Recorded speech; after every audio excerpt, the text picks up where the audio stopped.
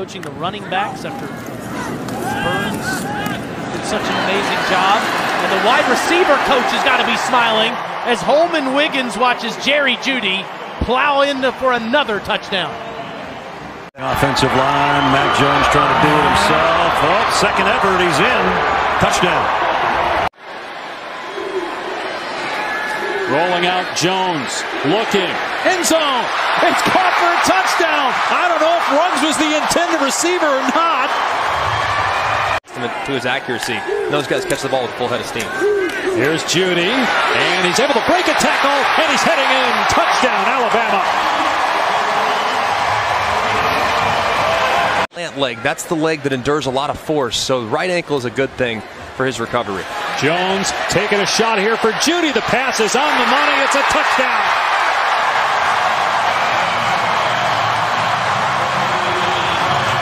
Wide receivers out there, the spark in this offense a lot of times is Harris.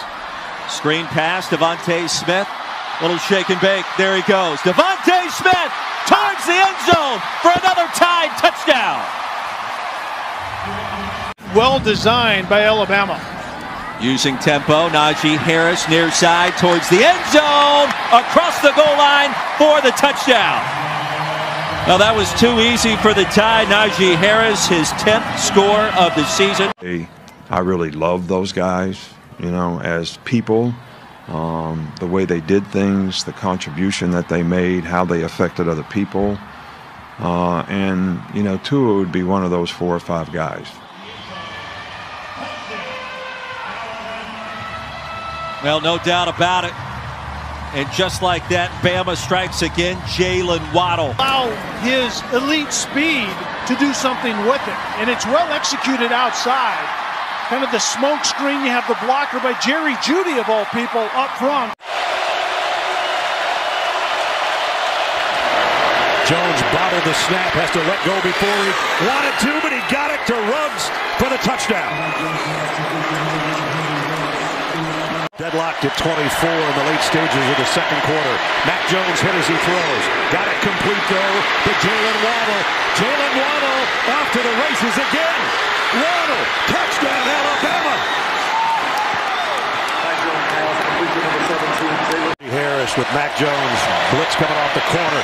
Throws to the corner of the end zone. Waddle, touchdown. Anything else? He thinks number six can't cover this guy, and he can't. First down at the 28.